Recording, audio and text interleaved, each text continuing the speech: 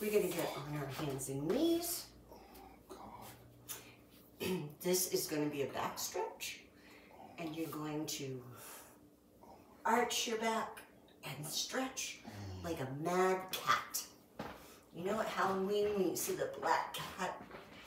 And then you're gonna release. And then you're going to stretch, hold it, remember to breathe, relax. And stretch. And relax. And remember to breathe. Okay, we're gonna move on a little bit. And we're gonna bring a leg forward. Mm. We're gonna stretch that back leg out, point your toe. And just do